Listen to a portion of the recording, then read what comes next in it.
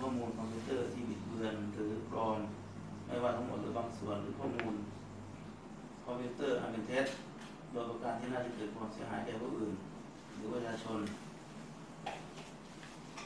ในการปฏิเสธนะซึ่งเจ้าหน้าที่ตำรวจจับกุมแจ้งสิทธิ์ให้เราทราบหนึ่งมีสิทธิ์ที่ให้การหรือไม่การก็ได้ถ้อยคำใช้เป็นพยานหลักฐานในการพิจารณาคดีได้สองพบ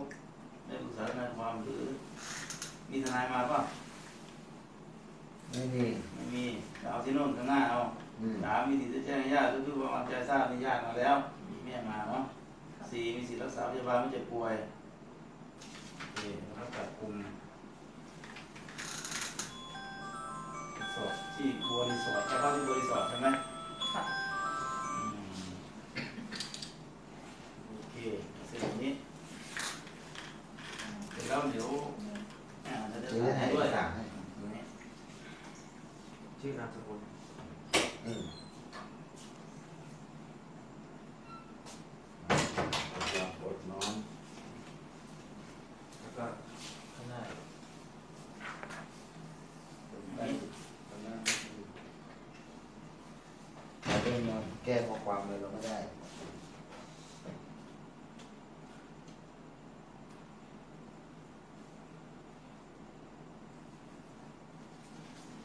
อ่าตำรวจ เซ็นของเราเซ็นยัง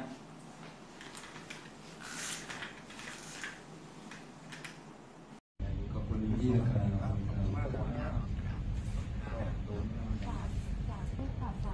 รูปแบบลักษณะแบบถ่ายในลักษณะเป็นช่างภาพมืออาชีพ เอามาภาพเอาเอามาโพสต์อย่างเงี้ย ไม่มีกิจวัตรไม่มี activity อะไรที่เป็นเรื่องส่วนตัวจะเป็นรูปแบบเหมือนแบบหาหาตามอินเทอร์เน็ตทั่วไปตรงเนี้ยต้องต้องระวังนะครับ เวลาไปดูในโพสต์ของคนที่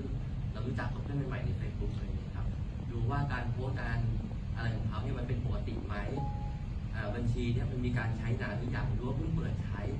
บางครั้งเนี่ยมีแค่รูปสองรูป หรือไม่กี่รูปเองเป็นรูปแค่รูปชุดเดียว